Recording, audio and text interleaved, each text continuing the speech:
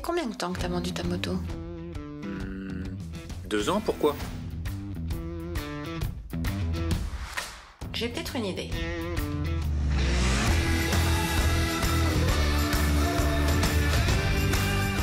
Avec envie de rouler.com, louer une moto en toute liberté.